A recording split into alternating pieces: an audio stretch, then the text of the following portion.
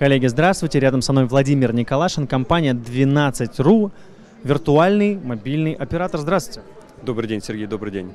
А виртуальный мобильный оператор. Мы готовы создать для, в принципе, для любой а, компании свой собственный мобильный оператор с собственными тарифами, названием сети, брендированными сим-картами. В первую очередь они интересны мы а, крупным ритейлом, крупному ритейлу для такого якорного удержания своих покупателей. Вот якорное удержание, расскажите, вот насколько вы полезны будете, потому что понятно, что это как мерч, как, э, как некие а, напоминания клиенту о себе, но все-таки насколько вы прям полезны можете быть ритейл-игрокам?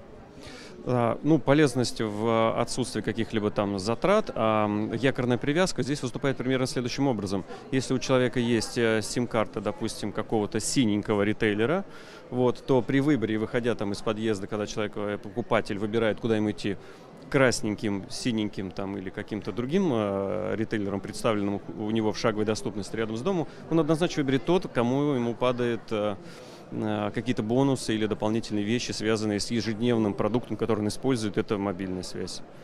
Например, купил две бутылки шампанского, получи 100 минут в подарок.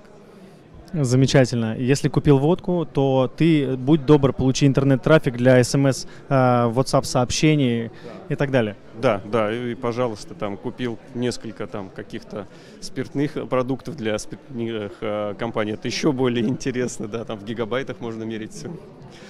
Э, расскажите, насколько это интересно ритейлерам в плане том, что крупные игроки рынка теоретически могут пойти сами и сделать своего мобильного оператора. Могут ли и насколько для них это выигрышно? Хороший вопрос. Теоретически, это ключевое слово, теоретически могут. И мы даже знаем на рынке э, двух э, таких крупных ритейлеров, которые уже так э, почти там три с лишним года туда пошли. Ну и как бы где-то они идут. Кто-то даже, наверное, потерялся и так далее. Это очень долго, сложно, дорого и потом уже непонятно, как с этим жить вообще. Вот. А наша как раз платформа уже создана, она готовая, она работает, нет таких, не нужно таких затрат, не нужно таких временных затрат, финансовых затрат, не нужно огромной продуктовой работы, на которую нужно выделять человеческие ресурсы внутри компании. Вот это мы все берем на себя, поэтому мы выгоднее гораздо. Ну, я хочу пожелать вам удачи и, наверное, еще пару слов от вас вашим потенциальным клиентам.